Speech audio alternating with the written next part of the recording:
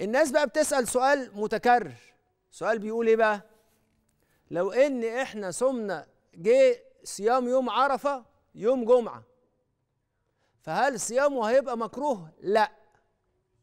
لإن الكراهية تتعلق بصيامه من غير سبب. أما صيام يوم عرفة فصيامه مسنون على كل حال. يبقى إذا جاء إذا جاء يوم عرفة يوم جمعة يجوز صيامه منفردا؟ نعم. هل هناك كراهة؟ ليس هناك كراهة. هل إذا أنا صمت يوم صمت يوم عرفة اللي جاي يوم جمعة هل في إنقاص من الثواب؟ لا. إن شاء الله محفوظ الثواب.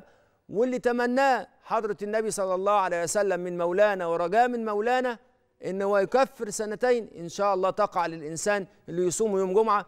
ده مش بس كده ده لما يجي يوم عرفة يوم جمعة بيزداد الخير فيه مرتين. لأن سيدنا عمر قال لما قالوا له في الكلام عن قوله تعالى اليوم أكملت لكم دينكم وأتممت عليكم نعمتي ورضيت لكم الإسلام دينا قالوا لو نزلت علينا لاتخذناها يوم يوم عيد.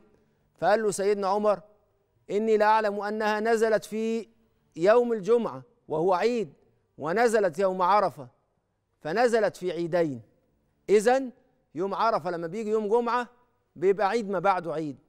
إذا عرفة يوم الجمعة مزيد من البركات مزيد من الخيرات وإن شاء الله اللي يصومه يحصل له فتح وعباد من رب العالمين سبحانه وتعالى.